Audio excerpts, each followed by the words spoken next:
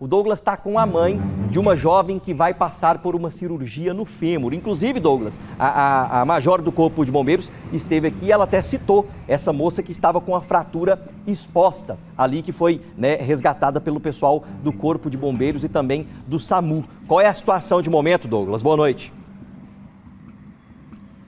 Boa noite, Branquinho. Boa noite para o pessoal de casa. Olha, a Marcela está juntamente com o marido Douglas internados aqui no Hospital de Urgências de Goiânia, da região noroeste.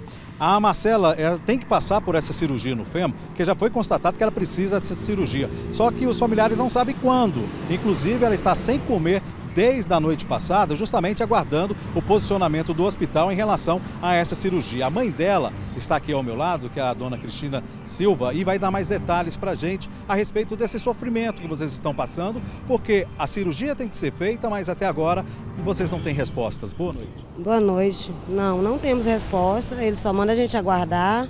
Toda hora que é, é um sacrifício para dar informações, a gente tem que estar tá se humilhando para eles. São um pouco é, ignorantes e está muito difícil. A gente queria que eles dessem uma posição, porque ela está com dieta zero, não dão água, não dão nada. Aí diz que só o soro alimenta, mas está muito difícil. E o Douglas também é o seu genro, está internado precisando de cirurgia no pé. Está internado precisando da cirurgia. Aí falaram que talvez amanhã eles dão uma posição ainda, se vão fazer amanhã ou não. É, tá muito complicado. Muito... Agora, a senhora conversou com a Marcela e com o Douglas, o que eles falam sobre o acidente, o que eles relatam para a senhora?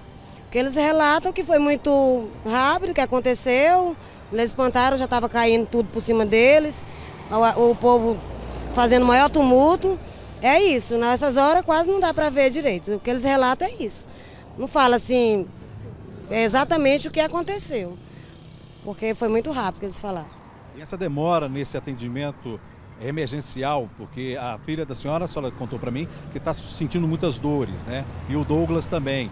E isso acaba emocionando muito vocês e preocupando, porque a senhora está aqui desde ontem de madrugada. Sim, estou aqui desde duas horas da manhã. E ele sente muita dor mesmo, reclama demais. Eu já entrei lá duas vezes hoje, com muita luta, porque eles não querem deixar a gente entrar para ver.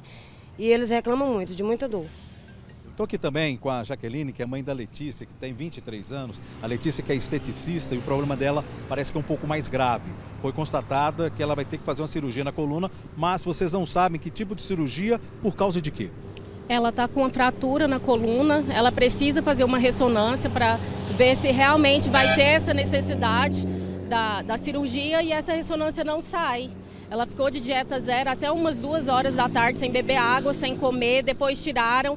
E aí agora foi constatado que precisa fazer esse exame, ela está lá no corredor, esse exame nem está no sistema ainda não está constando, está esperando um raio-x e assim, está uma situação humilhante. Eu fiquei em pé no corredor com ela até quase a hora do almoço, porque nem cadeira a gente tinha para sentar. Depois que me colocaram lá para dentro do, do, do pronto-socorro, ela ainda não está internada, ela está no pronto-socorro ainda esperando e a gente não teve nenhum contato dos responsáveis. Isso que eu queria saber. O é pessoal muito... que organizou o festival, eles procuraram, de certa forma, de alguma maneira, entrar em contato, saber se estava precisando de alguma coisa? Não, a gente não teve nenhum tipo de apoio. Igual a mim, tem várias mães lá, tem vários adolescentes no corredor chorando de dor e sem nenhum amparo. Não tivemos nenhum contato dos, dos responsáveis do show. Com certeza esse caso chama muita atenção e também a gente nota que a senhora fica muito emocionada. É humilhante, né? Uma situação humilhante, é porque a gente está falando de adolescentes que pode ficar aí com né, sem andar ou com uma fratura no pé, com a deficiência e a gente está impotente, porque a gente não tem um apoio, a gente não tem um apoio financeiro dos responsáveis que já deveriam estar tá aqui dando apoio para gente, porque os nossos filhos eles pagaram para estar tá lá. E aí? Aqui tem uma pergunta para a senhora. É Letícia, né, Douglas? Como que ela tá? Lá o estado de saúde dela, assim, de olho, né? Claro, ela não é médica, mas como que ela tá? Ela tá consciente? É, é ela tá sentindo dores? Qual que é a situação? Porque parece que ela tá no pronto-socorro até agora, né?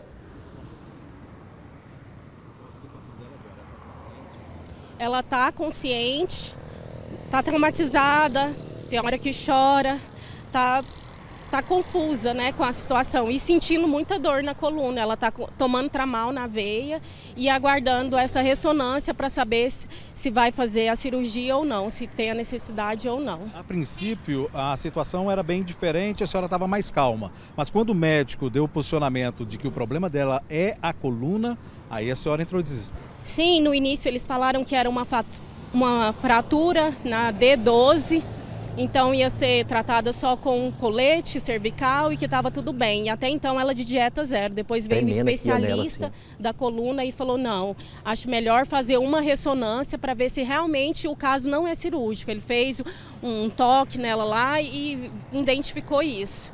Só que essa ressonância não sai. A gente está falando de, de, um caso que aconteceu na madrugada de ontem. A gente está aqui até agora. E aí, o tempo, nesse momento, a gente sabe que é Houve negligência por parte da organização do show?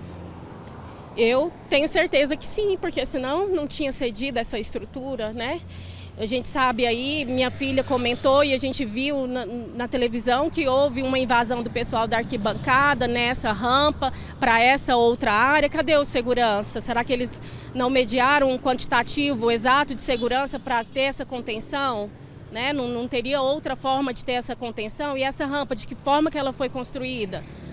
Né? A gente está falando de um show de uma grande proporção de bandas aí famosas que provavelmente, normalmente, ia gerar um quantitativo imenso de pessoas.